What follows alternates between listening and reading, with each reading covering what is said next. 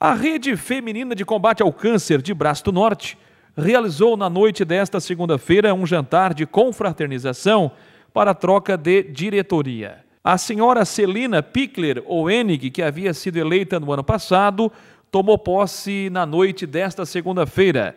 Junto com um grupo de voluntárias muito atuante, ela promete fazer um trabalho totalmente diferenciado, sempre focado no combate ao câncer de mama e também do câncer do colo uterino. Muito feliz, muito satisfeita, porque as pessoas, as voluntárias né, que participam do nosso nossa entidade, elas clamaram e eu tive que aceitar, não tive outra opção e eu tive que aceitar. E eu achei assim muito gratificante isso aí.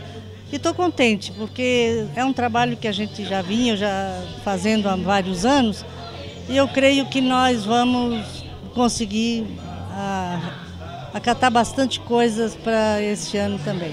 Além das voluntárias da rede feminina, diversas outras lideranças também participaram do evento. Dentre elas, o ex-prefeito Evani Juliano, que quando era prefeito implantou também o programa Saúde do Homem. Olha, participar da rede feminina é sempre uma satisfação e eu não poderia deixar de vir aqui nessa troca de diretoria. A Valdete fez uma grande administração com a sua diretoria, espero que a, que a, que a Celina também faça, eu tenho certeza que vai fazer.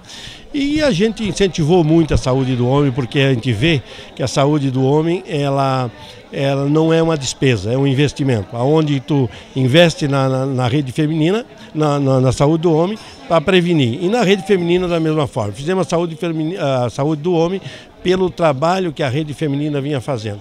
A rede feminina ameniza dor, ameniza sofrimento, ameniza custo. Então, tudo que a administração pública investir na rede feminina, ela, tá, ela não é despesa, ela é investimento. A gente acompanha o trabalho da rede feminina e sabe da importância que a rede tem hoje no município de Braço Norte e na região toda, né, como exemplo de organização e de trabalho prestado. A gente sabe da, né, de quão, quão triste é essa doença, que elas vêm preventivamente tentando se antecipar a ela, mas a gente sabe que o trabalho está sendo muito bem feito e hoje em Braço Norte a gente consegue é, encaminhamentos com menos de 30 dias, né, o que é muito bom, mas é pouco é, tendo em vista a, a, dificuldade que a doença é, traz às pessoas, o trauma, não só pela própria doença, mas o trauma psicológico.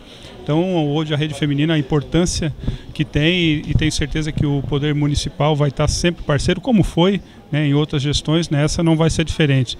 É, temos aí acompanhado a rede, sabemos do trabalho contínuo que tem sido, e não começa hoje, nem termina hoje, ele é eterno, né? E graças a Deus nós temos essas mulheres né, que se doam voluntariamente para fazer esse trabalho preventivo. O vice-prefeito Charles Bianchini também se fez presente e prometeu dar toda a assistência possível e ampliar o atendimento na rede feminina e também no programa Saúde do Homem.